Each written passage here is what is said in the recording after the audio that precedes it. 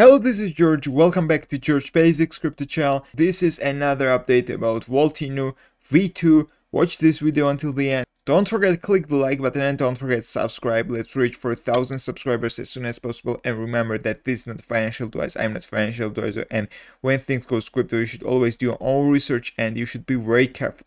So we can begin our short update about Volt Inu. The price is up by 24% in last 24 hours. You can check this chart on DEXTools.io. You can check the buyers and sellers uh, in last hours. A lot of people are buying Volt V2 and less people are selling. So this is the situation on the market. Now let's check daily trading volume. It's 1.6 million dollars and total market cap is 55 million dollars. So this is the situation on the market and we have got a huge announcement. I want to talk about this in this video. You can check this tweet.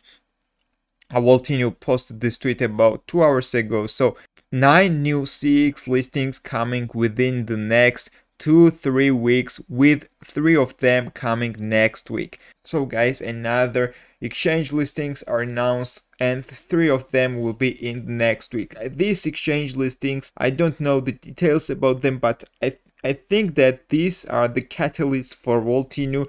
More and more crypto exchange, more and more CEX listings uh, means more and more buys, more and more daily trading volume, and more and more pumps on the market. So we should be impatient and we should wait for these exchange listings. Click the subscribe button, click the bell icon to get recent updates about Volt Inu.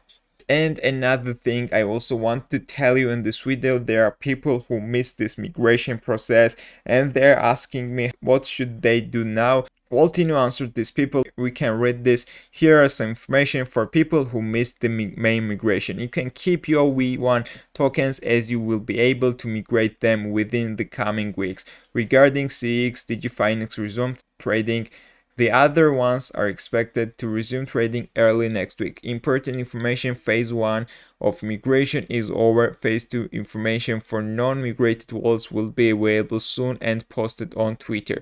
Do not click any links, do not answer any DMs. Price will not be available until CoinMarketCap updates the contract. Now let's check if CoinMarketCap updated the contract. I don't know we are waiting this. No they didn't updated the contract yet so we are waiting for this uh, contract update and after that moment we will see updated price in trust wallet. So that's all i wanted to tell you about Volt Inu, Volt v2 we should be patient and we should watch all of these things. We should wait for all of these catalyst exchange listings.